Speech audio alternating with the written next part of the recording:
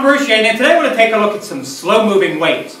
Now, these are going to appear on a piece of moving string or rope, but let's start off by taking a look at some waves traveling through stationary rope. To make waves in rope, it's as simple as flicking it up and down, or side to side.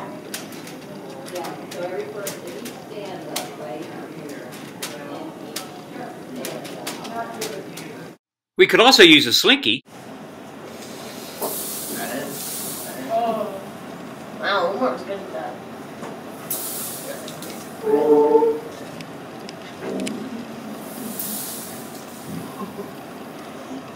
Now what we're looking at is a transverse wave. The material is going to stay stationary. The particles of the material move up and down as the wave moves forward through it. That is a transverse wave. So, ready? Yeah. Now, Go. Begin. I'm gonna go. Yeah. bring it back. Bring it back. All right, start again. Ready? Yeah. Really fast? Yeah.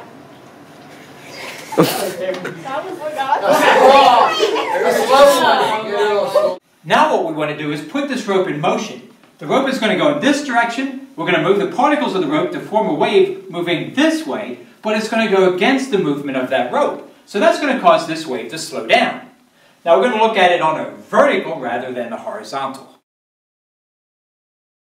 Let's start by taking a look at the device. It's simply a spool that's mounted on a toy car wheel. Here we can see the wheel a little bit closer. This is going to mount on the motor, which is mounted inside the wooden support. It has wires that run down to the base.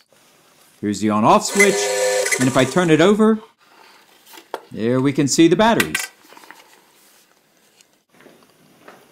Now here's my continuous loop of ribbon. When I put it on this wheel, I can move it back and forth, and it hangs very limp. There's not much to it. But when I turn this on, this wheel is going to turn in this direction fairly quickly. So this whole ribbon is turning in this direction. It's coming up on this side.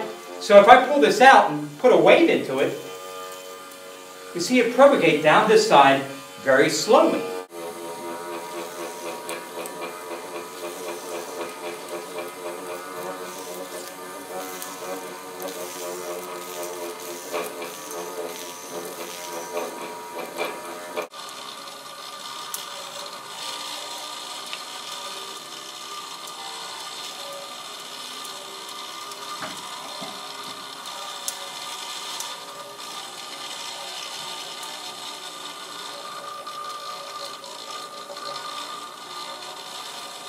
This is the side where the ribbon's moving down. So if I try and put a wave on this side, well, I can't do it. Uh, it almost acts like it's a rigid body.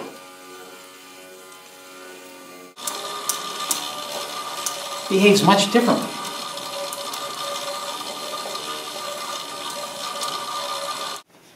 Now, when I try and put a wave in the rope when it's moving in this direction, as I lift it up, the particles will continue to move down in this direction. So as I lift, I'm not just lifting here, I'm lifting this whole section. So it appears that the rope is solid.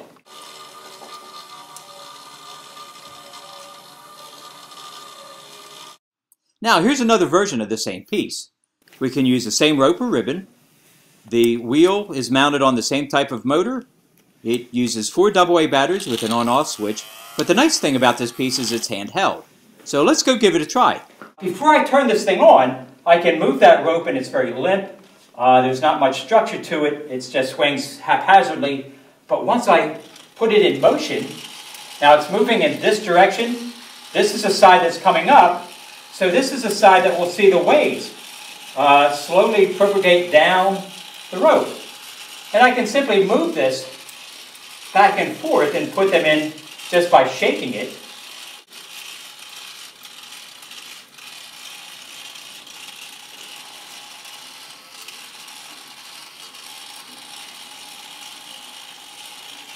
So there's our portable version of it.